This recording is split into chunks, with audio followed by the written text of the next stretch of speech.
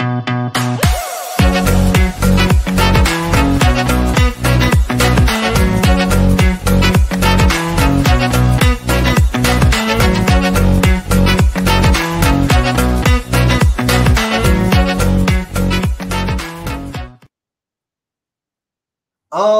right, so good morning, good afternoon, everybody, and welcome to another exciting Exploring by the Seat of Your Pants broadcast. My name is Jesse. For many of you, it's your first time joining us, in which case, welcome to Exploring by the Seat of Your Pants.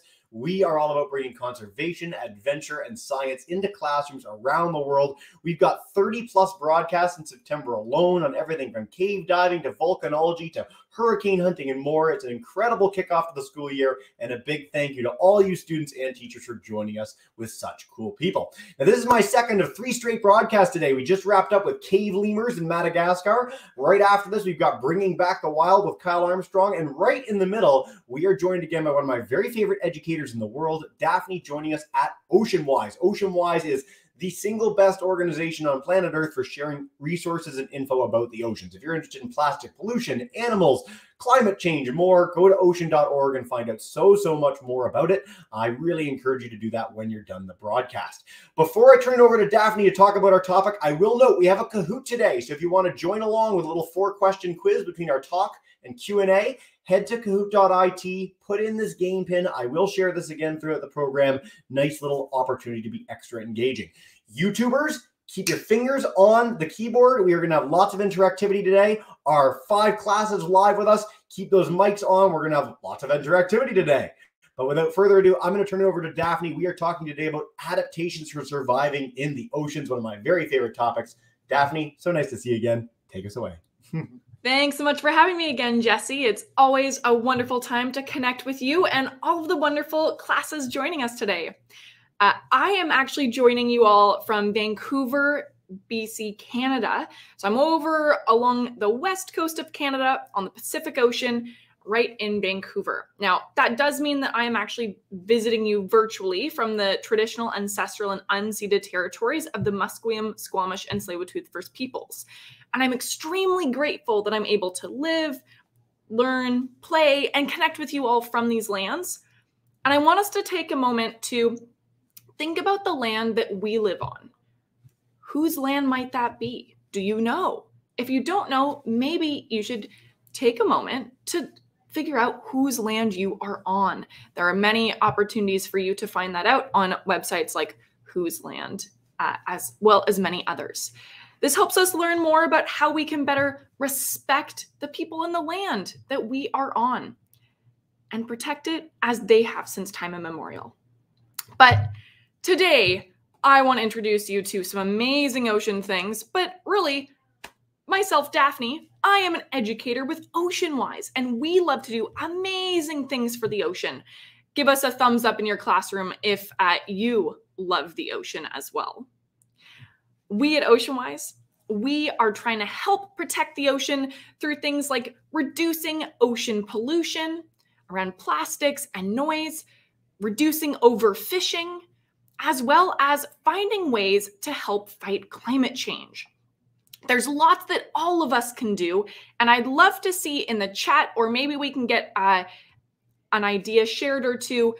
What do you think you can do to help protect the ocean?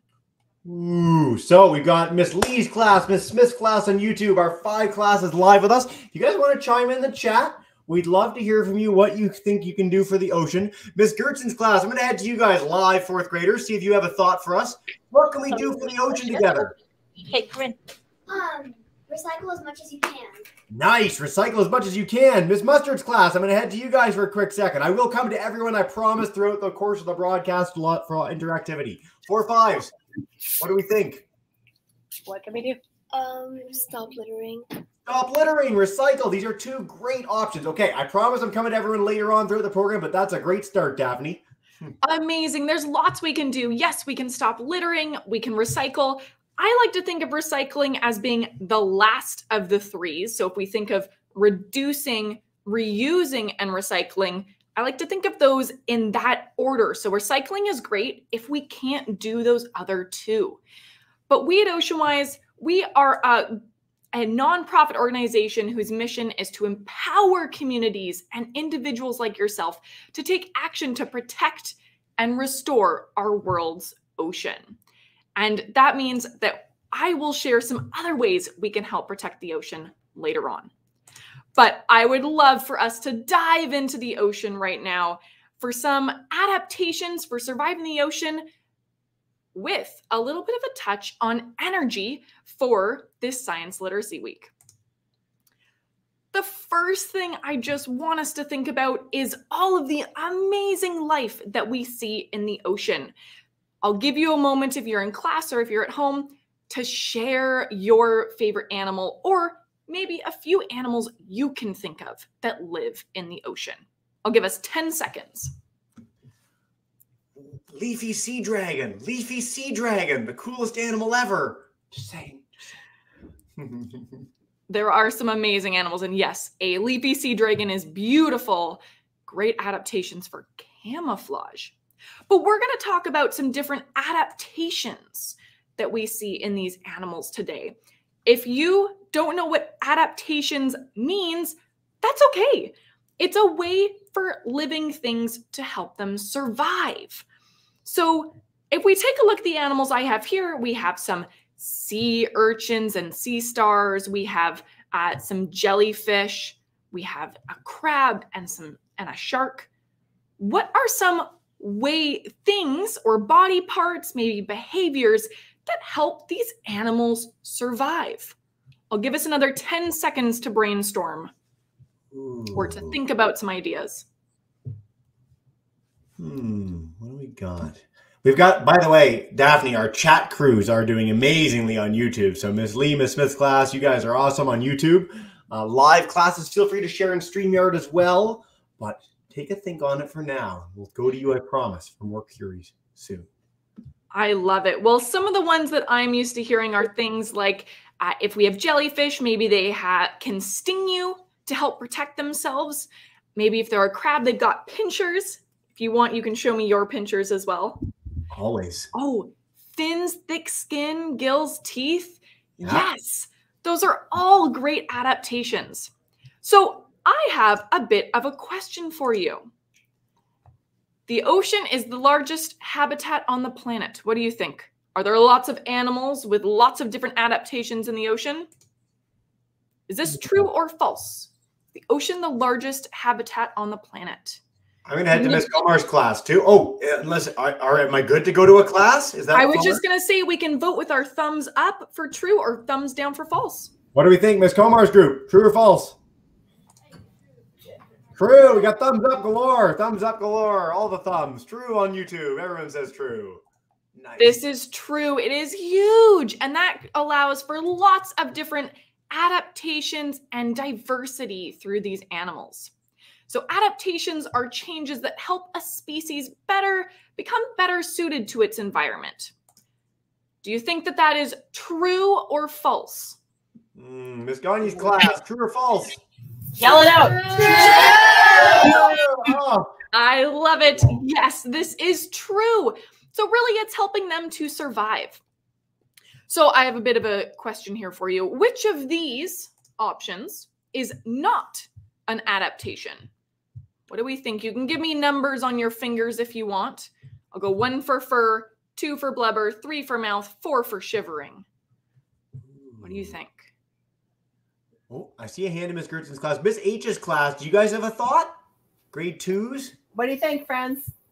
Fur. Fur is not an adaptation? Fur? That's what we're saying. Okay, Miss Gertson's class. Oh, there's so many hands up in, in Kansas. What do we think? One. Well, I think most of the fingers One. I see are ones. Okay. We're Interesting. All right. Well, you know what? Some of you may not have had me for any exploring by the seat of your pants programs before, but I am known to do some trick questions. So great guesses, everyone. But really, all of these are adaptations, and we'll explore a few of them throughout the program today. But yes, anything from fur to teeth to blubber to even shivering to stay warm are ways to help us survive. I want to take a look at a few animals to help us dive into these adaptations and maybe how they can how animals can save energy to help them stay alive. So I have three animals here, and we're going to explore some of the ways that they save energy. We have, you can say it out loud in class if you want with me. We have a sea otter with its fur. We have a Bluefin. tuna, a bluefin tuna with heat, heat acclimatization. Pretty much they can stay warm, maybe. And then we have a seal with some blubber. I'm going to let us vote with our fingers. I'm going to have us do one for sea otter, two for tuna, three for seal. I'm going to let you choose the order we explore. Oh, I might go rogue here and bring in all the classes to yell this out and see what we think because it's going to be one of three. We are going to cover them all, I promise. But all our classes, I'm going to put you guys in. What do we think? Seal, tuna, or sea otter?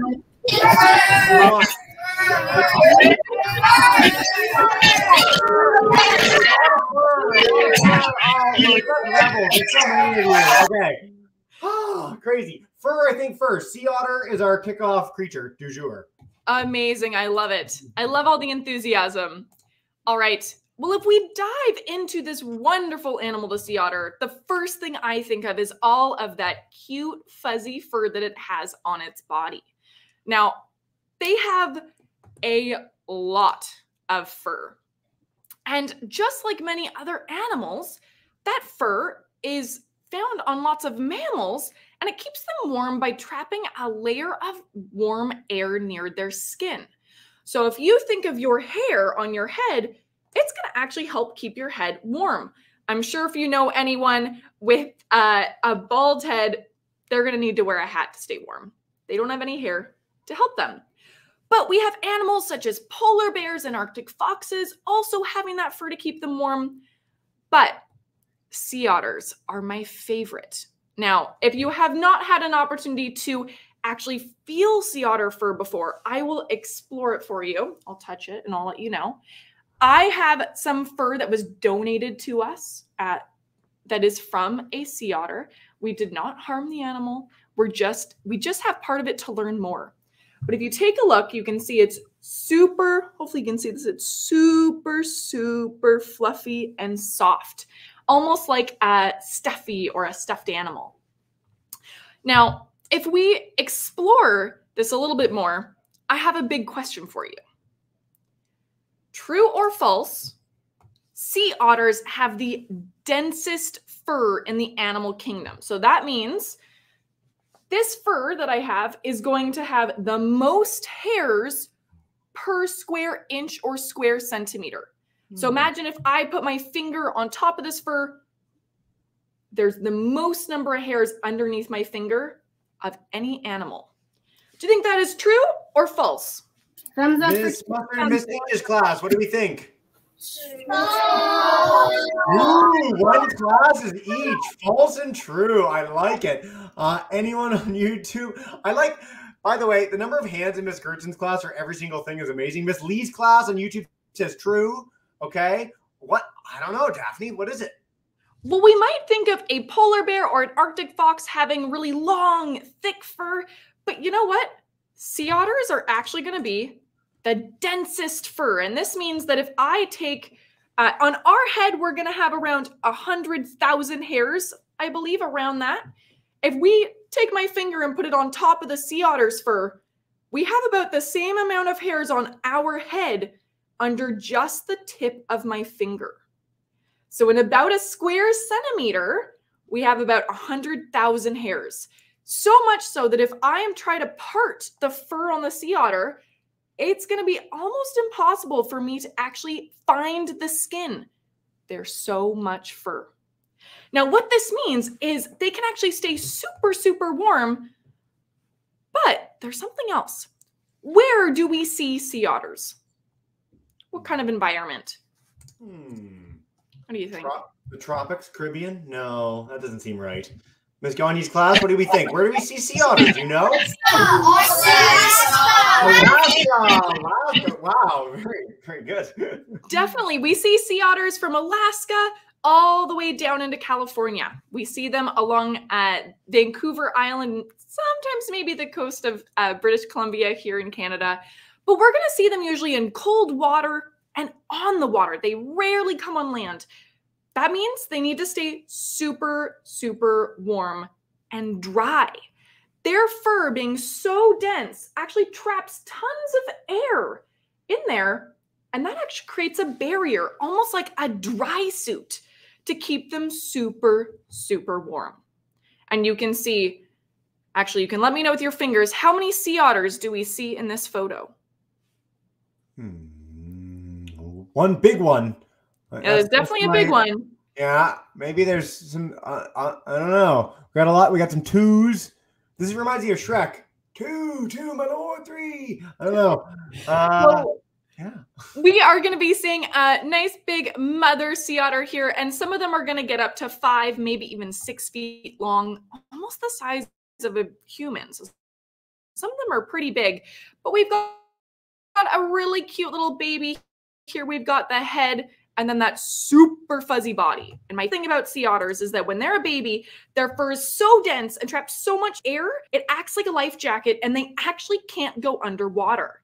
They actually need to lose that lanugo or baby fur before they can learn to swim. I think that's really cute. So, if they have all of this fur to keep them warm, do they also have a layer of blubber or fat to keep them warm? So, do sea otters have lots of fat to keep them warm? True or false? Miss Comar's class, grade sevens. What do you think? Oh. There was like slight hesitation, and then they all came on board with false. I love it. Well, you are correct. They actually aren't going to have all that same fat that many other animals have. Instead, they're going to use tons of energy to fluff that fur all the time and eat a lot to make sure they have energy for that. But this fur is really helping them save energy by not having to store so much fat on their body. Now, I think that this fur is absolutely amazing. It's waterproof, but that means they need to be really cute and they need to fluff their fur to stay warm. So maybe I'm going to show you a video of some sea otters fluffing their fur, but maybe you can pretend that you're a sea otter while we watch. They have the densest fur in all the animal kingdom and rely on that fur to keep themselves warm in the cold water. They don't have any blubber or fat, so keeping that fur really clean maintains its waterproofing qualities. A healthy sea otter's fur never allows their skin to be wet, so grooming that fur and keeping it really clean is really important. So we got to explore a little bit about fur and how it's going to trap that heat, uh, keep these animals warm. That helps the sea otter save energy. What animal would we like to explore next? Ooh, I'm gonna pick at random. Miss Mustard's class. What do we think? Seal or tuna? Two or tuna. Tuna. I think we have Oh, it's split. It's split. We've caused a rift. Oh, I'm so sorry. Daphne, save us. Pick one. Uh, let's go with tuna this time. All right. And I think tuna are one of the most beautiful fish that we see in the ocean. And they are absolutely amazing. They're also a bit delicious. And we'll talk about that being a bit of a problem in a moment. But my first question is tuna are amazing. They're beautiful. They are fast. How fast are they? Got some I've got some guesses here. We've got 40 kilometers an hour or 25 miles per hour, 62 kilometers an hour or 38 miles per hour, 70 kilometers per hour, 43 miles per hour, or 100 kilometers an hour, 62 miles per hour. Wow. What do we think, everyone? School zone speeds up to highway speeds. Okay, I'm gonna Yep. go. Miss Gertson's class. It's been a bit. Fourth graders. What do we think? It can go faster. Show me your fingers. What do you think? It, it can go faster. I A bunch of like threes. Okay, I think. I like we're getting closer to the camera. Three. Okay, so 70 kilometers seems to be our our go-to. Well, you know what? You are all super, super smart. It is 70 kilometers per hour or 43 miles per hour. And that is fast. That is really fast if you can imagine being in a car. That's kind of on like a, a faster street, not quite a highway, uh, but getting up there. These are fast fish. And one of the other amazing things that I'd love to share with you is one of the things I think is really amazing. If you take a look at this tuna and you take a look at how big its body is, and then how teeny weeny its um, body is right when it connects to its tail, we see this in many of the fastest fish in the ocean. That how skinny that, if you have really skinny connection between their tail and their body, that may be an indication that they are a really fast fish. So maybe you know of another fish that looks similar. All right, but I have another question for you. Tuna, are they cold blooded like other fish? True or false? Hmm. I'm gonna head uh, Miss H's class, grade twos. What do we think? True or false? Let's see. Go ahead, say it. True. True. Oh, we think they are. All those other fish are cold blooded, and so are our tuna. It's not a trap at all. Love it. Oh, I, I would never put a trap question out Never. there. What? Never. Well, it's a great guess, and you would think all fish are going to be cold blooded. They're going to be similar temperature to what's around them. But these fish are swimming so fast, they actually have an adaptation that helps them stay kind of warm blooded. They can keep their body at a temperature above the water around them. This has a big fancy name. It's called regional endothermy. Endothermy just meaning that they can keep heat in. And really this the way they do this is by not just having blood flow from their gills through their body back to their gills, but it almost has an extra loop. And this extra loop, as we can kind of see here, means that they can actually transfer that warm blood that went through their muscles, creating all this energy, all that energy from that muscle activity. Maybe you can swim really fast with me. If we're like wiggling really, really fast like a fish, we're going to get really warm. That warmth is going to transfer to our blood. Normally, that blood would then go to the gills. It'd get cold again. These tuna, their adaptation means that that warm blood actually passes by some colder blood coming from the gills, keeping that warm that warmth closer to their internal body. It's always going to be colder blood towards the outside of their body, warmer towards the inside. You can kind of think of it as if I have, say, I have my crab, and this is kind of warmer uh, towards the in- inside of their body. They're going to kind of have, uh, I have kind of like a porpoise here. Uh, it's blue, it's kind of colder. If I just have them just going in one direction from in to out, in to out, I'm going to get cold blood towards the inside of my body. But if I have an extra loop, I'm going to actually have uh, a way for this cold or this warm blood from the inside of my body to transfer that warmth to the cold blood coming in, meaning I can keep my warm blood inside and I'm going to have cold blood towards the outside. Pretty much an extra loop means they are going to have warmer blood towards their insides. All right, I know that's confusing, but let's carry on. Because you know what? Bluefin tuna in particular is very sought after because it's so delicious and hard. There are less of them around.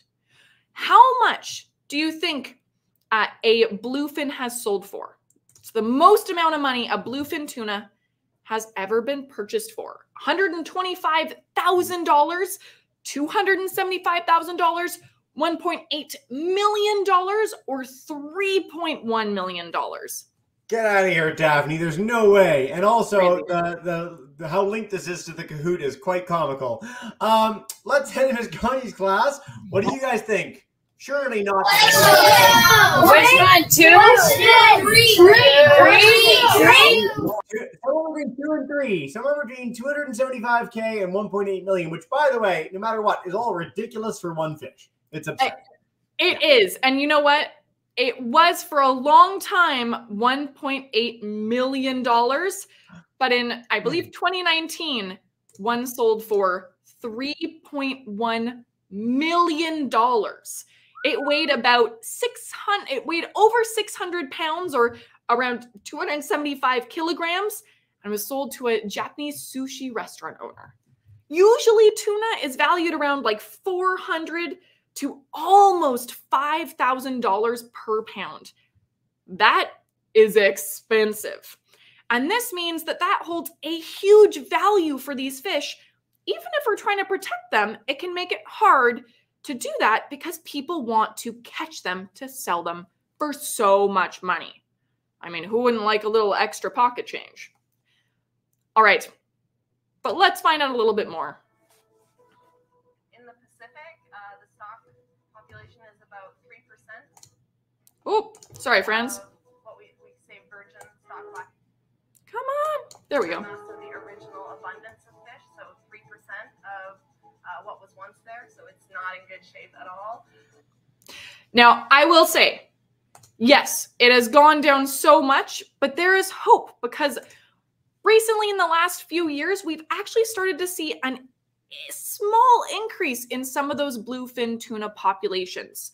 Hopefully, regulations can outweigh that price that that tuna holds, and we can continue seeing a bit of an increase because those populations are small right now.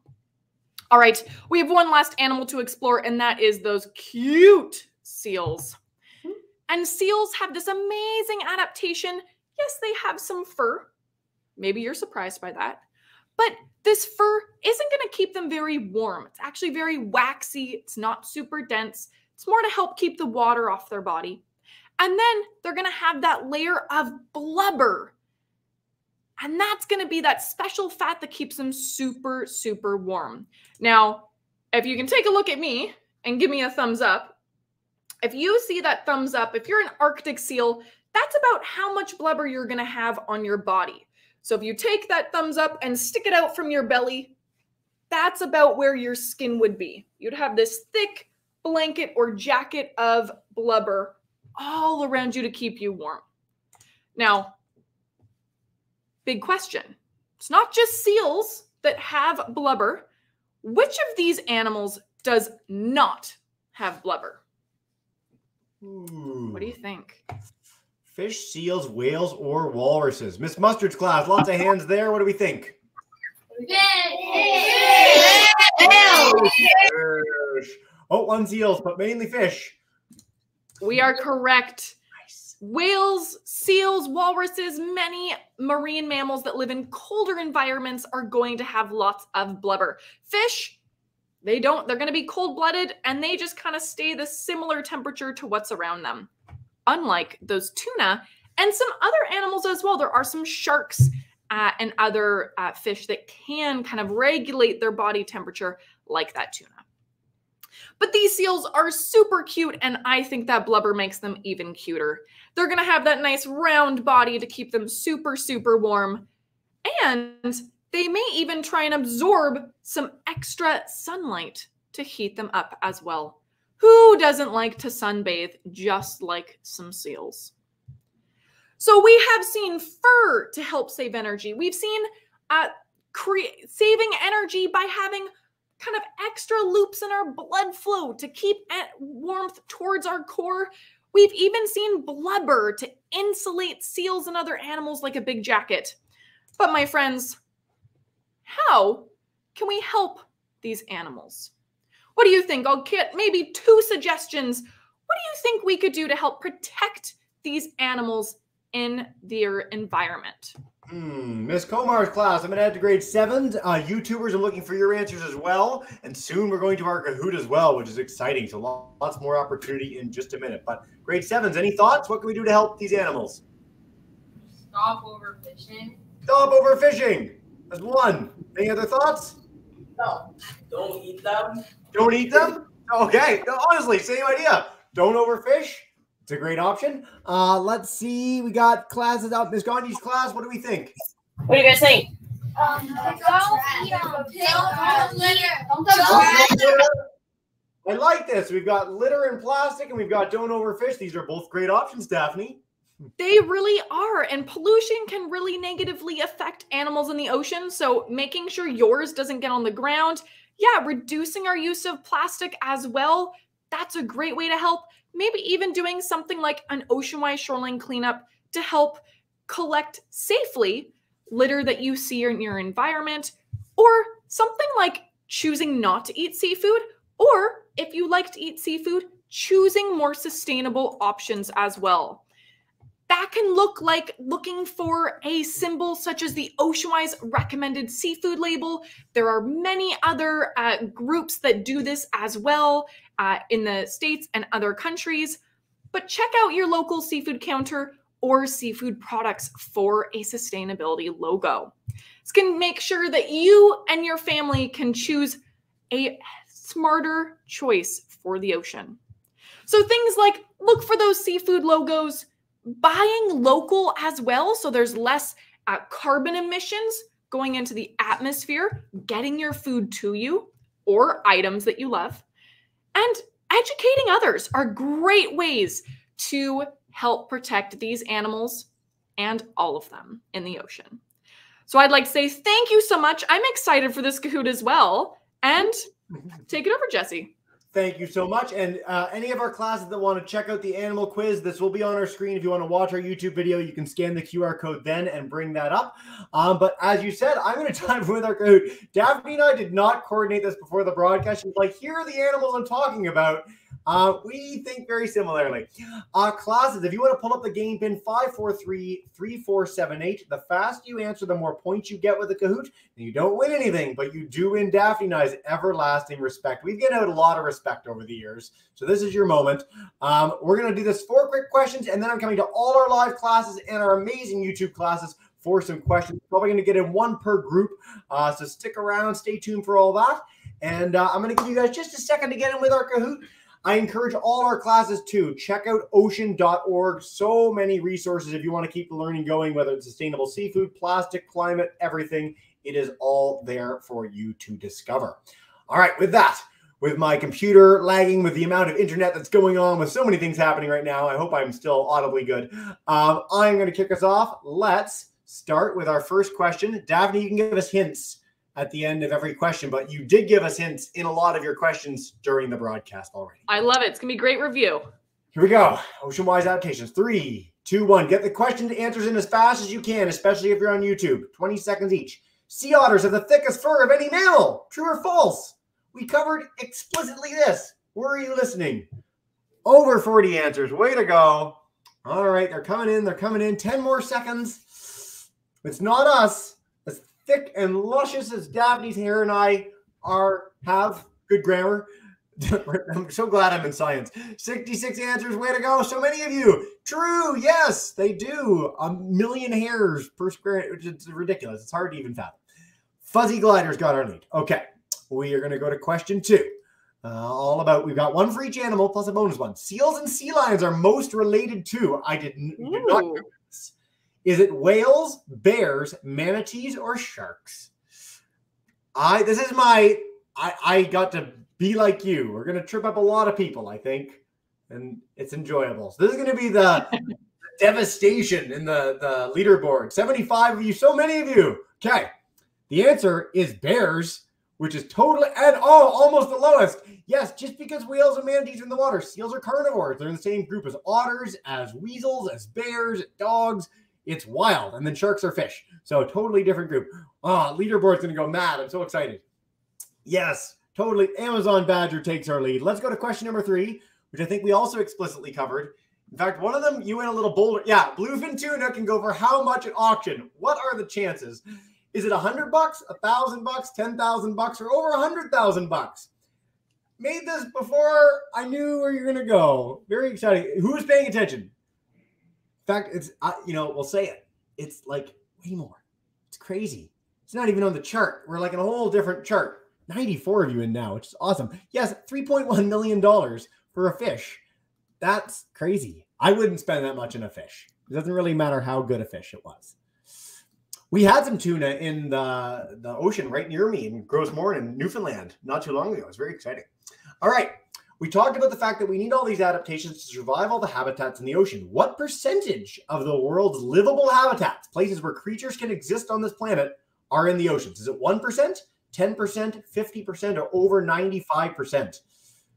Hint, we've been going big with a lot of our answers. Perhaps that's a trend you might want to follow along with. And indeed, yes, it's so absurd. I mean, land surface is, first of all, 70% of the world's surface is ocean. So, way more of the surface of the earth is ocean than land. And then oceans are deep. So, there's so many habitats within oceans for creatures to live. So much need for incredible adaptations to survive those varying habitats. Silly Ravens in third, Daring Impalas in second. If you're any of these people, let us know who you are. First place, drum roll please, goes to Amazon Badger. Very different from our, our ocean theme, but that's fine. Uh, we uh, thank you very much for participating in that, and we are going to go on to our Q and A now. I'm going to head to Miss Gertson's class first. I'm coming to all our live groups. YouTubers, please do share a question as well. Uh, but let's head to Buhler, Kansas to kick ourselves off. Fourth grader. Hi. Marshall. He's coming. No, no, no, no, no, no, Marshall. Okay. No, no, sit down, Marshall. Okay. Hey, man. Yep, go for it. You're good to go. Um, my name's Marshall, and we were wondering what is the most interesting thing at your job? Oh, personal one. I like it. This is a great question. The most interesting thing with my job, I would say, this sounds kind of weird, but I'd say all of the really good questions that I get asked. I love getting stumped by questions from other people and being able to connect with people and learn from them. So that's my favorite part of my job is being able to connect with people just like you and maybe I'll even learn something new from them. That's a beautiful answer. Thank you, Daphne. Uh, Miss Comar's class, grade sevens, welcome in. Uh, and if you have a question for us, take us away. Oh, I, oh is, is blubber edible? Is blubber edible? I like that. We've never had that one before. Great question. Yes, it is very edible, and it's a really uh, big part of many indigenous cultures up in the Arctic. So many Inuit cultures within Canada and other countries. It is a staple within diet. Uh, in some areas, such as um, up in northern Canada, it would be known as muktuk, uh, which would be what you know beluga blubber and others might be called. So yes, it is very nutritious, super oily, uh, and yeah, definitely edible. Great question, guys. All right, we're going to go from St. Uh, Martin to Northeast Hope. Uh, Miss H's class, grade twos, come on in. And if you have a question for Daphne, you are in the broadcast. It wants to let you in. It's thinking about it. There we are. Hi. Do all jellyfish sting? Ooh. Great question. I love this one. Yes, they all sting. They all have these little cells that are trying to kind of grab you. They have no hands. They just have little hooks that they kind of try and grab their food or uh, predators with.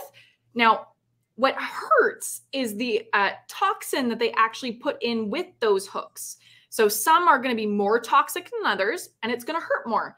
Some you may not even realize that it's um, that it's got you because that toxin isn't enough to hurt you, or you've touched with the thick skin of your fingers and it hasn't actually gone all the way through to your bloodstream. So yes, you're all gonna they're all gonna get you, just maybe not as much as others. Yeah, there are places in the world where you can swim with jellyfish and they're all around you and you're totally fine, but it's just not enough to really affect you. And there's certain jellyfish that can kill people, actually, which is quite, you know, uh, a dangerous scenario and one that lifeguards and countries around the world try and make sure people aren't having interactions with those specific kinds of jellies. So great query, guys. Miss Mustard, Miss Gagne, coming to you in two quick seconds. I'm going to take our YouTube ones really fast and then I'll be right with you. Faria in Miss Lee's class wants to know. Oh, I like this one very much. I'm going to bring it up on screen.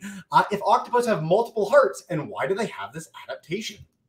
Great question. Yes, they do have multiple hearts. They have three hearts. They have one just like ours that pumps blood all around the body. And then they have two others that pump blood just to each of their gills. So I would say that they're going to have this because oxygen's really important and you really want to make sure that you're getting oxygen to those gills uh, or that you're getting blood to those gills to absorb lots of oxygen. Uh, we have different chambers in our heart to make sure that we're getting blood to our our lungs and then getting it back out to the rest of our body. Our heart does more work. Theirs is just going to be separated into multiple Fantastic. We are going to head to Illinois now. Miss Smith's class. I know we got another Illinois live with us. We got a lot of Illinois. You guys are great. Um, let's see. Are fish that live deep in the ocean safe from plastic? Great question. Great question. We see plastic all over the ocean. Unfortunately, we do see it in the deepest parts of the ocean as well. And that can be bigger pieces like plastic bags or plastic water bottles, but also lots of teeny tiny microplastics that once were part of a big item, but they've broken up and are much harder to clean up from the ocean. So plastic is everywhere, unfortunately. That's where our solutions like reducing our plastic use, maybe even picking up our litter, great for the ocean. It is. We've been having a lot of marine plastic programs this month. So if you want to head to our YouTube channel, all of those are there. Imogen Napper came on, Taylor Madeline, some really spectacular programs. We've got some more in the month to come as well. All right, I'm going to head to Brampton, best food in Canada. Uh, Miss Mustard's class, welcome in, guys, and uh, take us away. Hey. Um, which uh, sea animal produces the most uh babies? Ooh. oh, that's a great question. I actually don't know the answer, but I would say it would be a type of animal that broadcast spawns. So yes. instead of having a few babies that are already pretty developed and look similar to an adult, they're going to be either like little larvae that they send out thousands or even maybe hundreds of thousands into the water and hope that a few survive. So that could be things like jellyfish, um, corals, sponges, many animals are broadcast spawners. Great I'm question. Gonna, I'd love for somebody to look that up. That's a great question. I'll try and find it on Google before we wrap up. Um, but I will note all our classes, if you take nothing else away, I mean, Daphne's been amazing. There's so many things. Coral spawning. Everyone needs to go and watch a coral spawning video when you're done. It will change your life. It's like fireworks underwater. It is such a cool thing to witness and a perfect example of that broadcast spawning that we're talking about. So great question, Miss Mustard's class. All right. We're going to head to Ms. Gagne's class. Welcome in uh, to wrap us up with one final question. I know we're time flies and you're having fun, but come on in. Um, my question is, we have like we were talking about fall to keep them warm in the ocean, but seagulls when they float to catch the fish, how do they stay warm and how do they float? Ooh. Great question. So they are going to have instead of fur, they're going to have uh, feathers and that down layer, that really fluffy layer underneath those bigger feathers we're used to seeing. So they have feathers acting just like fur, being really fuzzy, trapping air to keep them warm. Great question. Daphne, speaking of questions, and I'm sorry to do this live with you in a broadcast, are you willing to take a Padlet with some extra questions after the fact? I know you've done that with us before. Okay, you have time. So, classes, yeah. we'd love to take more questions in a live broadcast. We know some of you have to go to lunch or end your day, so we can't take as many as we like live. I will get you a link if you register for today's program right when we're done this in an hour when I finish my next show. Uh, if you have any additional questions, you'll be able to share them there. We'll leave that up for two days, and Daphne and I will help answer all those questions. So please do keep any questions you have, write them down, give them to your teacher, and we can get those on the Padlet when we're done.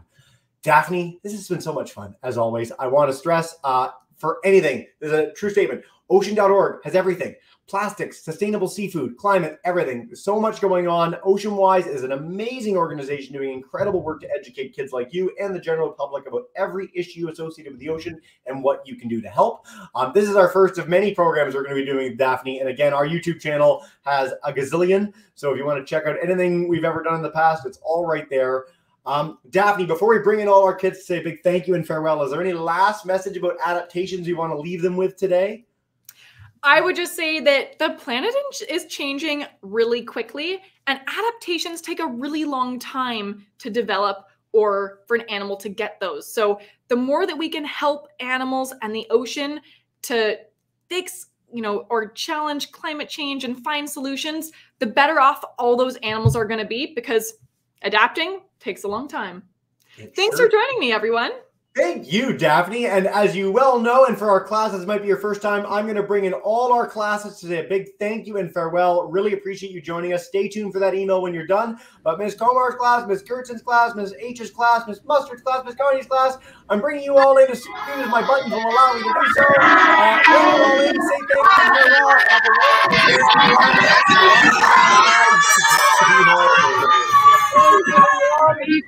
farewell.